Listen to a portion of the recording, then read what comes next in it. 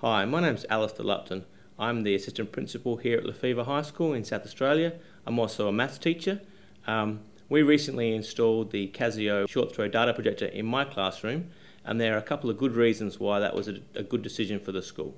Reliability is a big factor when choosing equipment for the classroom.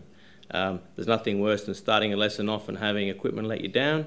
The, the Casio data projector range doesn't have lamps, so you've got no worries about the lamp blowing when you least want it to. Um, it means you've got a guaranteed five-year uh, warranty on the product and um, 20,000 hours of performance without any dimming or issues with performance, so you can just get on with teaching in the classroom.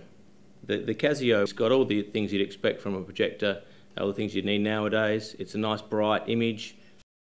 I can connect through HDMI or VGA, the different cables I'm using in the classroom. Um, so it's got all, it's got all the, uh, the core things that we expect from a, from a machine like that. At school here, we've got an environmental policy about reducing energy consumption, minimising the use of toxic chemicals, and generally just decreasing our footprint and a couple of things that the Casio helps us there.